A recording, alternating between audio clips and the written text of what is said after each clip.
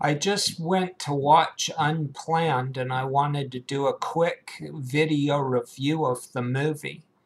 Um, the movie's rated R, and that's for absolutely no reason in the world. There is blood in the movie, so be warned of that. There is definitely some blood scenes, but there isn't an overabundance of blood that should rate the movie R at all. If you're worried about language, the one word that's used in it that's a swear word is ass. And I believe it's a lawyer in the movie, and he says, let's go kick some ass, or something to that effect. And that's the only word that I heard in the entire movie that would be at all a, a curse word or a cuss word at all. Um, I believe the R in the movie is because Satan is really scared that his empire is going to come crashing down, which it will. The, God already promised that in the Bible. But I believe the R should stand for absolutely required to watch. I believe any person that's 13 years or older ought to be required to watch this movie at least once.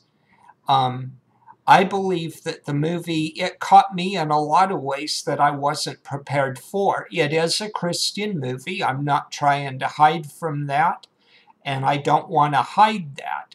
But I don't think that that's something that ought to scare every person off that isn't a Christian either. I believe that this movie addresses the topic of abortion in a very honest way the first movie that I've ever seen that actually addresses it in a very honest way. And but you will see some blood, so be aware of that. There are a few scenes, but it doesn't get overly graphic at all, I don't believe. Um, but it does show that abortion can be really messy sometimes. And there are cases that are very covered up very often from people that don't want this to be known, but Planned Parenthood especially.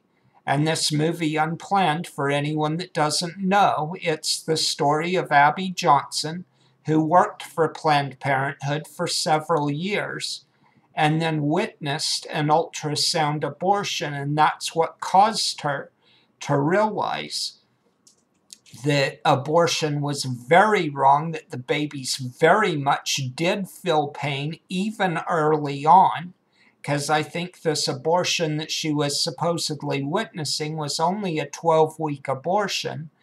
And she was running the ultrasound for the abortionist for the abortionist to do his abortion. Um, but anyway, for anyone that is sitting on the fence wondering if they ought to go see the movie, I would highly recommend it. I don't think anyone's going to be beat over the head with a Christian message because it isn't preachy at all, but it isn't a movie that runs away from Christianity because Christianity does play a part of the real story that really happened. So I really believe the rated R should stand for required for any person that's 13 years old or more because anyone that's going to engage in having sex or anything else needs to be aware of what abortion is really about, what it really looks like, what women really go through and the lies that they're really told about it. So, anyway, go watch the movie Unplanned if you haven't seen it yet. I highly recommend it.